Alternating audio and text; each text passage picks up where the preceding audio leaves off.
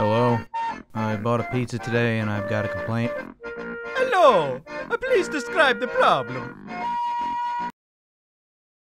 What the fuck?